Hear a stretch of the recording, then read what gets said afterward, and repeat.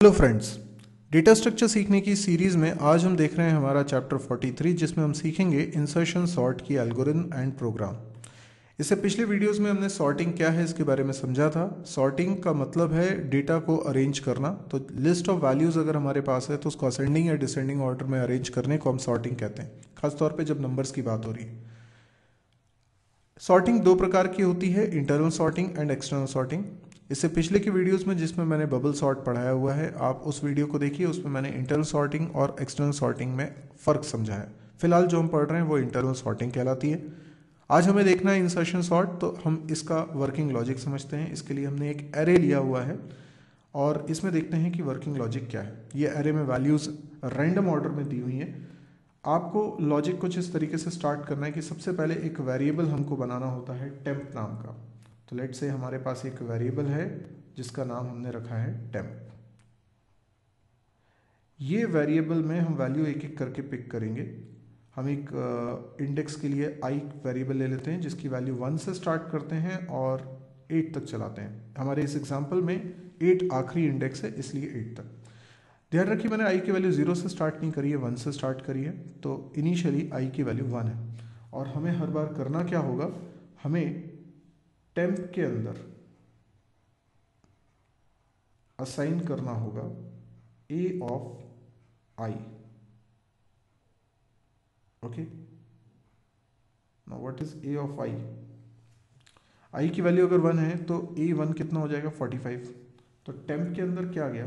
Temp के अंदर गया फोर्टी फाइव ये पहली स्टेप ओके okay. अब हम एक और वेरिएबल ले रहे हैं, जिसका नाम लेते हैं जे जे की वैल्यू हम स्टार्ट करते हैं आई माइनस वन से और कहाँ तक ले जाते हैं? ज़ीरो तक। मतलब जे की वैल्यू डिक्रीज करते जाएँगे। अब आई अगर वन है तो जे की वैल्यू ज़ीरो है मतलब एक ही बार। तो हम एक लूप चला रहे हैं बेसिकली ये लूप है। ठीक है? इस लूप में ये लूप कितनी बार चलेगा? जे की वैल्यू आई माइनस वन से लेकर ज़ीरो तक।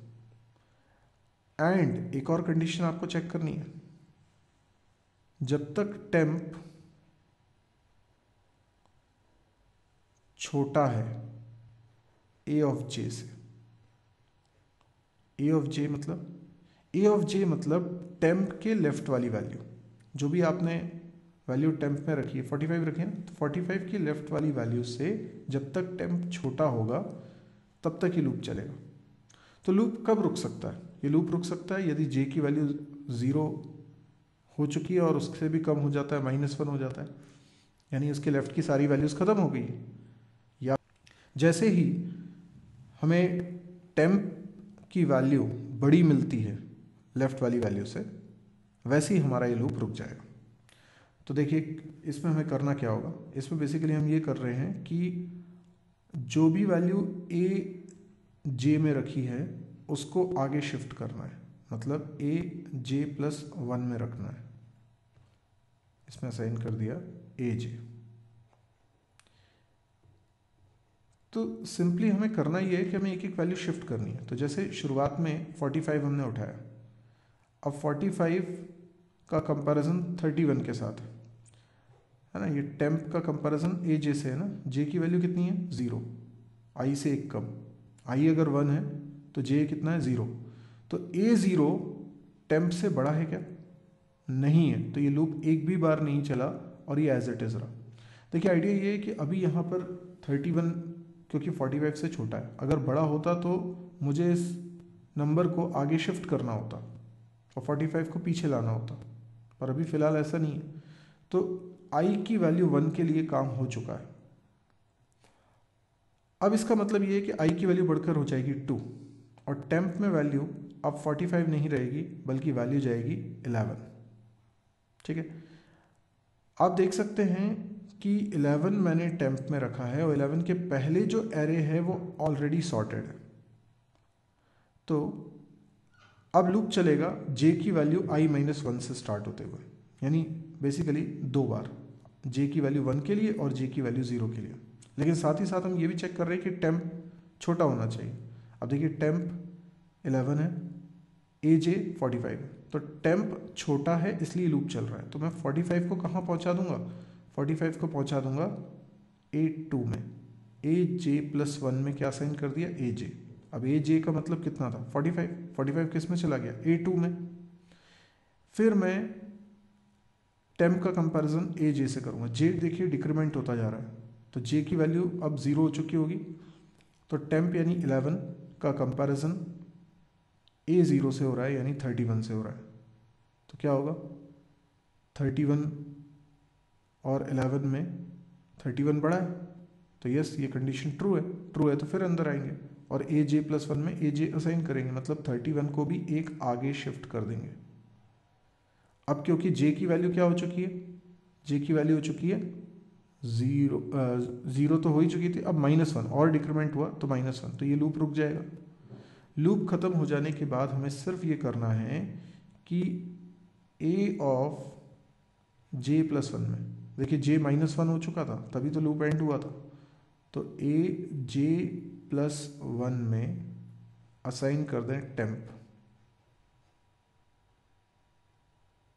ठीक है? तो क्या होगा? टेम्प यानी इलेवन स्टोर हो जाएगा इस थर्टी वन की जगह। तो थर्टी वन में अब थर्टी वन नहीं रहेगा, यहाँ इलेवन हो चुका होगा। और यहाँ फोर्टी फाइव की जगह पर हो चुका होगा थर्टी वन। और इलेवन की जगह पर हो चुका है फोर्टी फाइव। ये चेंजेस हो चुके हैं। फिर आई की वैल्यू बढ़ेगी। आई की वैल्यू बढ़ेगी तो थ्री हो जाएगी। थ्री हो जाएगी तो टेम्प में जाएगा एट्टी नाइन। ये हो गया टेम्प। अब टेम्प के लेफ़्ट में आप देखिए, जितनी भी वैल्यूज़ हैं eleven thirty one forty five ये तीनों की तीनों वैल्यूज़ आपस में सॉर्टेड है राइट अभी ये समझ में नहीं आ रहा तो यहाँ पे लिख देता हूँ। एलेवन है थर्टी वन है और फोर्टी फाइव है। तो ये सभी वैल्यूज़ आप, तीनों वैल्यूज़ आपस में तो सॉर्टेड है। अब मैं देखता हूँ कि ये जो वैल्यू है टेम्प की एटी नाइन ये छोटी है क्या? नहीं छोटी नहीं है लेफ़्ट वाली वैल्यू से। अब देखिए ना 89 के लेफ़्ट में जो वैल्यू है दैट इज़ 45 ये इस एरे की इन तीनों में सबसे बड़ी वैल्यू होगी ना क्योंकि ये आप अपने आप में सॉर्टेड है 11, 31, 45 यानी जिस वैल्यू को आपने पिक किया है टेम्प में रखा है उसके लेफ़्ट में जितनी वैल्यूज़ हैं वो ऑलरेडी सॉर्टेड है। सॉर्टेड है तो जो सबसे बड़ी वैल्यू होगी, वो जस्ट उसके बगल में होगी मतलब 45 तो 89 के लेफ़्ट में तीन वैल्यूज़ हैं जो कि सॉर्टेड हैं तो ये जो तीसरी वैल्यू है, यही तो सबसे बड़ी वैल्यू होगी ना। तो 89 अगर इस 45 से बड़ा है तो बाकी सबसे तो बड़ा हो गई तो बाकी सबसे कंपैरिजन करने की ज़रूरत ही नहीं, यहीं लूप एंड हो जाएगा। यहीं लूप एंड हो गया। आई की वैल्यू फिर बढ़ती है आई की वैल्यू हो जाती है फोर्टी फोर सॉरी आई की वैल्यू हो जाती है फोर तो अब टेम्प में असाइन हो जाता है फिफ्टी फाइव टेम्प में क्या चला गया? फिफ्टी फाइव अब टेम्प इसकी बात कर रहा है। और टेम्प के लेफ़्ट में देखो तो टेम्प के लेफ़्ट में चार वैल्यूज़ हैं और ये चारों आपस में सॉर्टेड है। अब क्योंकि टेम्प छोटा है ए थ्री से तो अब एट्टी नाइन को आगे शिफ्ट करेंगे। तो एट्टी नाइन कहाँ आ जाएगा? इस फिफ्टी फाइव की जगह आ जाएगा एट्टी नाइन फिर देखेंगे क्या फोर्टी फाइव से छोटा है टेम्प नहीं। तो फिर ये लूप रुक जाएगा और ए जे प्लस वन यानी A two plus one A three A three में टेम्प की वैल्यू असाइन कर दो। तो यहाँ पे क्या आ जाएगा? फिफ्टी फाइव इस तरीके से हम आगे बढ़ते जाते हैं और जिस वैल्यू को हमने टेम्प में रखा है, उसके लेफ़्ट वाला पोर्शन ऑलरेडी सॉर्टेड है। तो सॉर्टेड होते हुए ही आगे बढ़ता जाता है। अच्छा आप इसका एक बेस्ट केस इमेजिन करिए। अगर ये पूरा का पूरा एरे पहली बार में ही सॉर्टेड होता तो क्या होता? तो होता ये कि किसी भी के लेफ़्ट की सारी वैल्यूज़ ऑलरेडी सॉर्टेड होती। Right right? अगर मैं कह रहा हूँ कि सारी वैल्यू सॉर्टेड है, ठीक है? ऑलरेडी सॉर्टेड है बेस्ट केस दिया हुआ है। तो किसी भी वैल्यू को जब आप पिक करते हैं टेम्प में रखने के लिए तो उसके लेफ़्ट का एरे तो पूरा सॉर्टेड होता। और ये भी कंफर्म होता क्योंकि ये पूरा एरे पहले से सॉर्टेड है तो जो आपने पिक किया है, वो उसके लेफ़्ट की सभी वैल्यू से तो बड़ा ही है। तो आपको ये जे वाला जो लूप है ना, ये चलाना ही नहीं पड़ता। ये पहली बार में ही फॉल्स हो जाता तो ये लूप कभी चलता ही नहीं। तो लूप एक ही चलता, कौन सा? आई वाला। तो टाइम कॉम्प्लेक्सिटी बेस्ट केस में अगर अपन बात करें ना तो इसकी हो जाती ओ ऑफ़ एन तो इंसर्शन सॉर्ट के साथ फ़ायदा ही है। वैसे तो लूप की नेस्टिंग हो रही है। लेकिन बेस्ट केस में इसकी टाइम कॉम्प्लेक्सिटी ओ एन हो जाती है। जबकि एवरेज केस में ओ एन स्क्वायर ही है, क्योंकि लूप के अंदर लूप है। तो कोई पूछे कि इंसर्शन सॉर्ट सिलेक्शन सॉर्ट और बबल सॉर्ट से बेटर क्यों है? क्योंकि इसमें बेस्ट केस में टाइम कॉम्प्लेक्सिटी ओ एन अब आइए इसकी एल्गोरिथम देखते हैं। जो कुछ हमने समझा, वही इस एल्गोरिथम में लिखा हुआ है। सबसे पहले हमारे पास एरे है और साइज़ है। मान लीजिए एन एलिमेंट्स है उसके अंदर, हमें एक आई वेरिएबल लेते हैं, जैसे कि हमने लिया था, उसकी वैल्यू वन से इनिशलाइज करते हैं। लूप लगाते हैं, जब तक आई की वैल्यू एन से छोटी है, यानी जितने भी वैल्यूज़ एरे के अंदर हैं, वहाँ तक जाएँगे। और टेम्प के अंदर क्या रखते हैं? ए आई जो अभी हमने समझा भी था टेम्प के अंदर हमें ए आई रखते जाना है। और जे की वैल्यू हम आई माइनस वन से इनिशलाइज कर देते हैं और एक एक करके डिक्रीज करते जाएँगे। तो हम रिपीट करेंगे, ये इनर लूप है जे की वैल्यू जब तक ज़ीरो या उससे बड़ी है और टेम्प की वैल्यू जब तक ए जे से छोटी है। तो ए जे प्लस वन में ए जे असाइन करते जाओ और जे की वैल्यू को डिक्रीमेंट करते जाओ। जब ये लूप एंड हो जाएगा, तब हम ए जे प्लस वन में टेम्प की वैल्यू असाइन कर देंगे और टेम्प को उसकी सही जगह पर बैठा देंगे और फिर आई को इंक्रीमेंट करेंगे और बाहर वाला लूप कंटिन्यू होगा। तो अब हमें देखना है इसका प्रोग्राम तो आइए प्रोग्राम बनाते हैं इसका। एक ये मैं कोड ब्लॉक्स पे कोडिंग कर रहा हूँ, नई फ़ाइल एम फ़ाइल लेता हूँ और इसको पहले मैं सेव करता हूँ। जब मैं सेव करूँगा तो मेरे से ऑप्शन पूछेगा। मैं यहाँ पर लिख देता हूँ insertion dot C insertion dot C नाम से मैंने इस फ़ाइल को सेव कर लिया, देखिए। अब मैं इसके अंदर कोडिंग करने जा रहा हूँ। तो कोडिंग किस तरीके से होगी? हम एक फ़ंक्शन बना लेते हैं। इंसर्शन सॉर्ट के लिए। तो हमने लिखा void इंसर्ट इंसर्शन सॉर्ट ये फ़ंक्शन का नाम हो गया।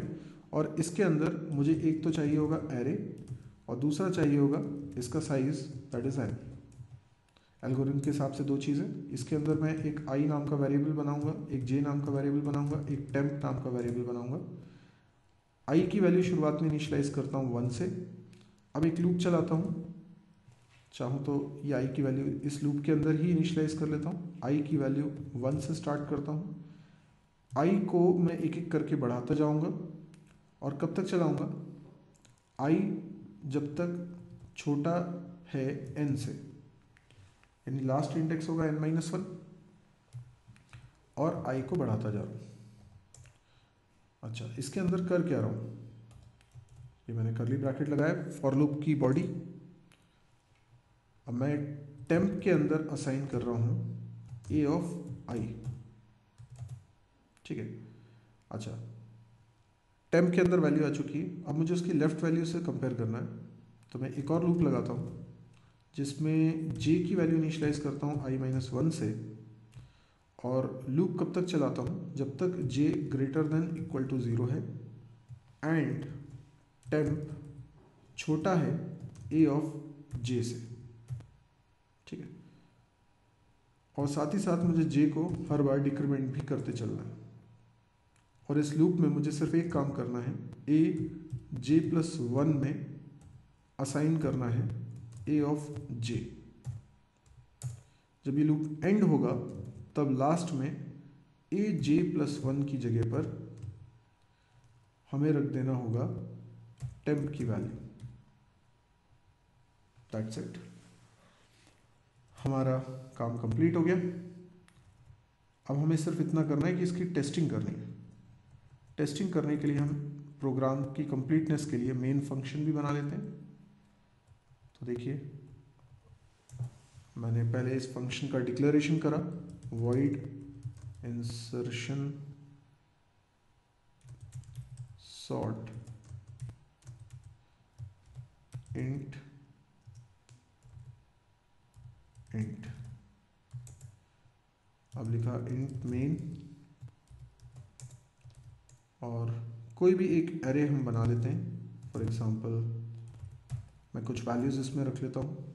जैसे मैंने वैल्यू रखी थर्टी फोर फिर मैंने दूसरी वैल्यू रखी सॉरी थर्टी फोर दूसरी वैल्यू रखी फोर्टी फाइव तीसरी वैल्यू रखता हूँ एलेवन चौथी वैल्यू रखता हूँ एटी नाइन फिर वैल्यू रख देता हूँ फिफ्टी फाइव फिर वैल्यू रख लेता हूँ नाइनटीन ट्वेंटी टू ठीक है एट फोर्टी इस तरीके से। कितनी वैल्यूज़ हो गई हैं? ये वैल्यूज़ हो गई हैं eight nine yes nine values हैं। और अब मैं इंसर्शन सॉर्ट कॉल करता हूँ। इंसर्शन सॉर्ट और इसमें पास करता हूँ एरे और total number of values elements अब इसको, ये इंसर्शन सॉर्ट चल जाएगी तो मेरा रिज़ल्ट आ चुका होगा, यानी सॉर्टिंग कंप्लीट हो चुकी होगी। तो मैं एक वेरिएबल और बना लेता हूँ आई आई की वैल्यू ज़ीरो से स्टार्ट करता हूँ। सॉर्टिंग कंप्लीट हो चुकी है तो मैं एरे को प्रिंट करा के देखूँगा। टोटल नाइन वैल्यूज़ हैं तो लास्ट इंडेक्स एट है। और इसमें प्रिंट एफ़ और प्रिंट कर देता हूँ। परसेंट डी लगाता हूँ। स्पेस लगाया, फिर परसेंट डी और ए ऑफ़ आई की वैल्यू प्रिंट कराता हूँ ताकि पूरा का पूरा एरे प्रिंट हो जाए। लास्ट में गेट सी एच प्रोग्रामिंग ठीक है। अभी इसको मैं सेव करता हूँ और बिल्ड करता हूँ। बिल्ड एंड रन तो ये हमारा प्रोग्राम बन चुका है। इसमें हमने इंसर्शन सॉर्ट को कॉल किया है, जो हमने बनाई थी। देखते हैं कोई एरर है या नहीं है। यस आउटपुट आ चुका है। देखें ये सॉर्टेड हुआ कि नहीं हुआ। आप देखिए eight eleven nineteen twenty two thirty four forty forty five fifty five eighty nine very good यानी ये पूरा का पूरा सॉर्ट हो चुका है। तो हम कितनी भी वैल्यूज़ दें, ये हमारे एल्गोरिथम तैयार है। अब इस प्रोग्राम को अच्छे से देख लीजिए। नोट कर लीजिए। तो इतना छोटा सा कोड है।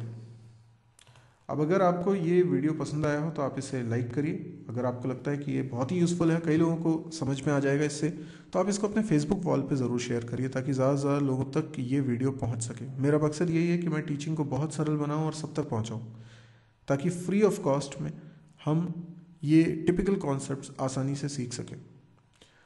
एक तो ये वीडियोज़ हिंदी में हैं तो ख़ास तौर पर जो हिंदी भाषी जगह हैं, जहाँ पर लोग हिंदी में ज़्यादा बेहतर तरीके से समझ सकते हैं और इंग्लिश में उन्हें समझने में दिक्कत जाती है, उन लोगों के लिए ये वीडियोस खास तौर पर हैं।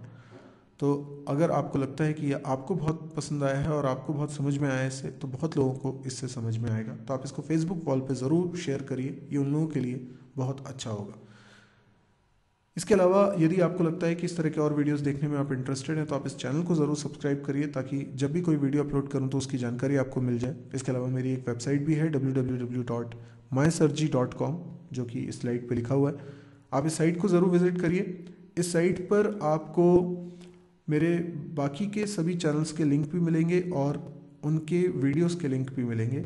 जब भी मैं कोई वीडियो अपलोड करता हूँ तो उसकी जानकारी इस साइट पे भी अपलोड कर देता हूँ, ताकि आपको आसानी से वो वीडियो मिल सके कि अभी लेटेस्ट वीडियो मैंने कौन सा अपलोड किया हुआ है। कौन से वीडियोस मैं अपलोड करने वाला हूँ, इसकी जानकारी भी आपको इस पर मिल जाएगी। आप इस साइट पे एक्सरसाइज भी देख सकते हैं, जिससे कि आप प्रोग्रामिंग प्रैक्टिस कर सकते हैं। आप इस साइट पे दूसरे कई सारे सब्जेक्ट्स भी कवर कर सकते हैं, जैसे C C plus plus D B M S Java P H P वगैरह। Thank you